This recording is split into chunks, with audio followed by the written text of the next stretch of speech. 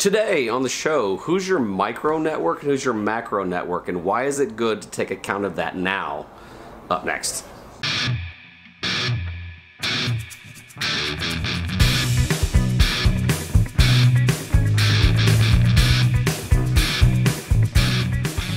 Okay, so today's this week's challenge for our teams was, you know, start whiteboarding, start jotting down who your macro network is, and then figure out who your micro. And, and what I mean by that is, so I'm like in Indianapolis and Indiana, and one of the big networks here in Indianapolis is like Eli Lilly or Salesforce.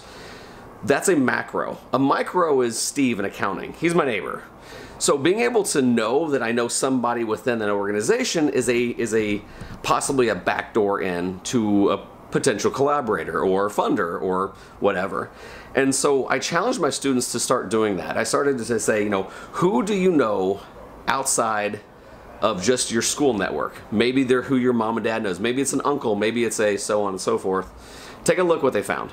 I kind of started with my dad. I think my dad is a really great resource. Um, his work that he works for is really resourceful, and they've actually helped me out a lot um, in connection with like talking to their marketing lady. She's been giving me some really good tips about things that I could do for my podcast, um, and uh, they might be interested in being one of our first like kind of um, people to try out our Go Plant It project. So they've definitely been really helpful. Um, Elena Schonkweiler is an amazing contact and I love her so much. She's so helpful and um, she just, from the bottom of her heart, wants to help other people so much. And I think that that's amazing. Um, I've had the privilege of working with um, JT McCormick. That podcast is going to be coming out really soon, um, as well as um, people from all over Noblesville, like Mike Hoffmeister. He runs the parks department. Um, but it was kind of interesting to sit down and think about the people that you know because it gives you an opportunity to um, kind of get get more directed goals about okay these are the people that i know um, these are people that they possibly might know how can i kind of um, work with those people to meet those other people to get the ball rolling and kind of start um, networking that way. So it definitely gives you kind of some goals and it gives you some direction if you think about it more. All right, so like starting with family members, people we know. At least my mom works at Noblesville Schools, so we also go there, but that's a contact with like the within the administration and also my grandfather is the assistant superintendent of Carmel Clay Schools so we uh, we do have connections within like local school districts. Besides that, we've already made like personal connections and mentioned talk to people there. But family always helps. Yeah, on my side of the family, uh, my dad works at Honeywell. My mom works at GM Financial, but something cool with my cousin is actually a private pilot for the Koch brothers. So that's Koch Industries for anybody that doesn't know.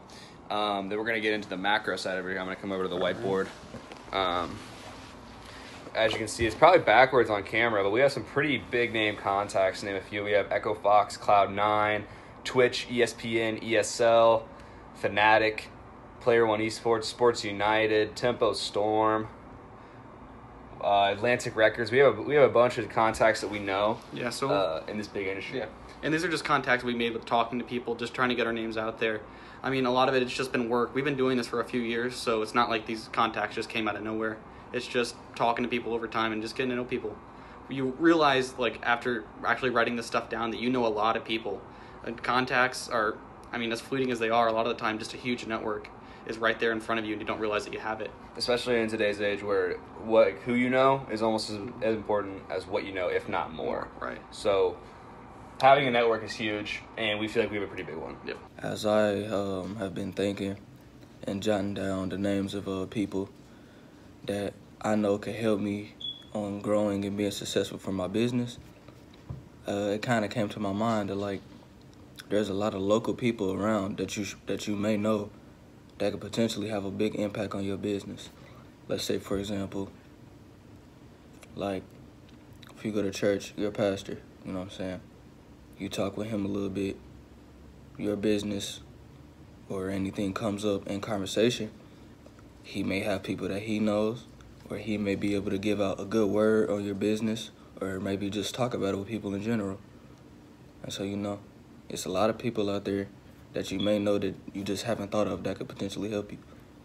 Okay, so from all three you saw with, you know, both Garden Year, uh, Go Plant It with Sarah, and, and the Paradigm Esports guys, a lot of them just started off with their family or their church Um, I, I like with Sarah, she started with her dad.